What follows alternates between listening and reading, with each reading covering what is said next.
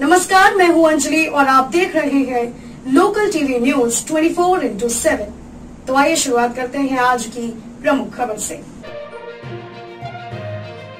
बराड़ी थाना पुलिस के वाहन बीच सड़क पर हुई बंद धक्का देकर किया किनारे।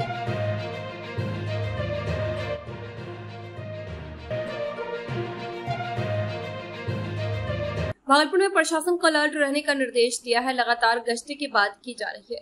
वही दूसरी तस्वीर भागलपुर से आ रही है, जहाँ अपराधी को लेकर जा रही बराड़ी थाना पुलिस की वाहन बीच सड़क पर कचहरी चौक पर बंद हो गई। पुलिस गाड़ी का पेट्रोल ही खत्म हो गया। फिर थाना का चालक पेट्रोल पंप पर पेट्रोल लेने गया और डब्बे में पेट्रोल लेकर फिर गाड़ी में तेल डाली और आगे लेकर गए। वहीं पूरे राज्य में पेट्रोल पंप पर डब्बे में पेट्रोल नहीं देने का आदेश है, लेकिन बेचारा चालक क्या करता?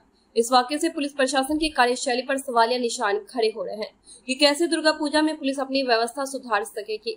अगर मनचले या अपराधी छेड़खानी करते पकड़ाते हैं तो कैसे पुलिस उसे पकड़ सकेगी? कम हो गया क्या? हमको मालूम नहीं है क्या हुआ है आखिर बारे को लेके जा रहे पड़ रहा हैं। कैदी लेकर तो जा रहे हैं रास्ता लगा देख ही रहे हैं कौन थाना बरारी थाना धक्का मार धक्का मार रहे थे? गाड़ी में धक्का क्यों देने, का कारण क्या हो में खड़ा हो गया तो साइड करा रहे हैं। खराब हो गया है। अब क्या हो गया? खराब हो गया क्या हो गया? वो ड्राइवर बताएँगे। कितना कितना देर से धक्का लगा रहे थे? दो मिनट तो हुआ। क्या नाम हुआ आपका?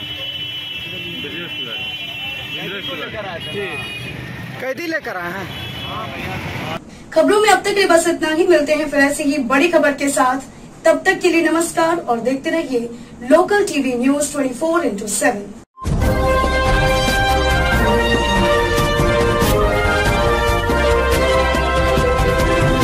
आप देख रहे हैं local TV news 24 four into seven. सब पर नज़र, सबकी खबर।